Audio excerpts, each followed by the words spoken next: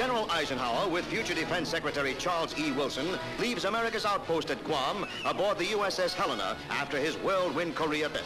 Ike continues his 10,000-mile voyage home through rolling seas. Aboard the Helena, Ike works out plans for Korea. High-level policy conferences with members of his cabinet take place all the way across the Pacific. Ike says he won't make any announcements until all factors concerning Korea have been weighed.